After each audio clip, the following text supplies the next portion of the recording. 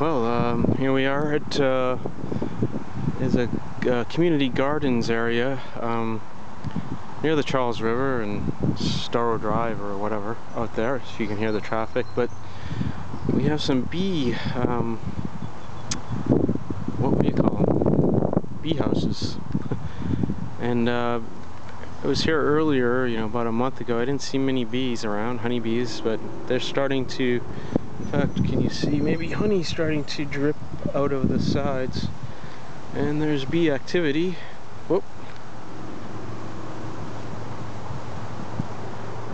Yeah, quite a few. This one seems to be the busiest though. Don't know why. Um, don't know if you can see the bees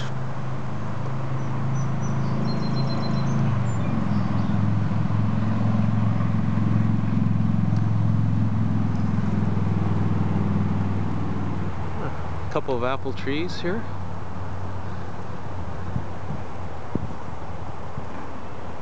Well, it's nice, nice to see the honeybees since I keep hearing about how threatened they are and how they're disappearing, but I've seen plenty this summer. Um, well, let's take a little walk around this area just to show you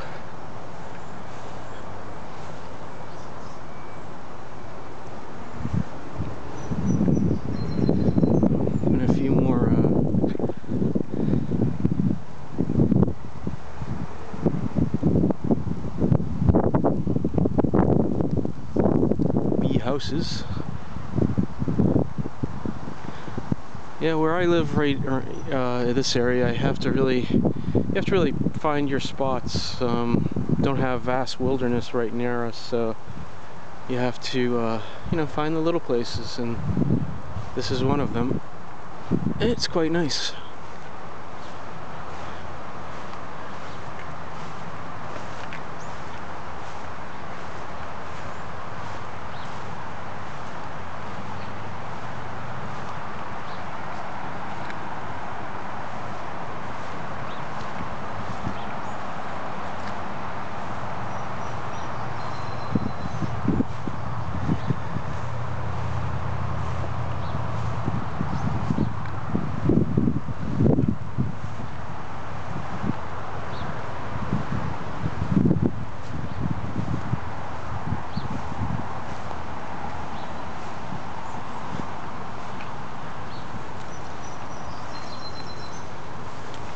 You have to pick spots and dive right in, I guess.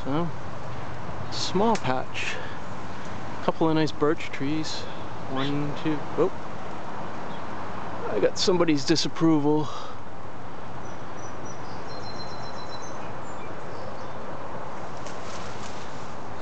some bird was squawking at me there. Maybe I'm near a nest or something.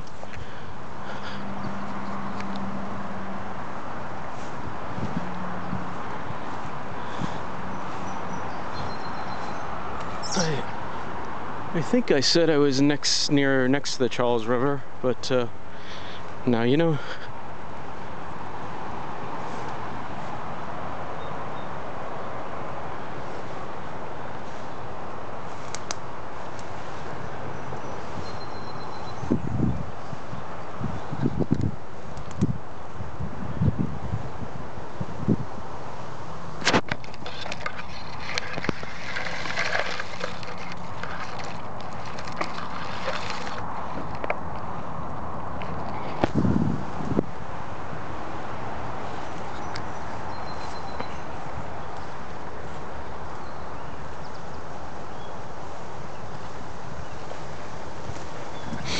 There's actually a, a, for me, there's a small hint of fall in the air, which is uh, strange, or not strange, just a little far out before fall, but uh, we've got a real crisp Canadian air mass over us today.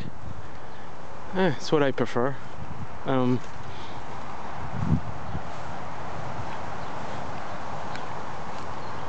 but it's not gonna last. Tomorrow will be going back up into the heat or towards it.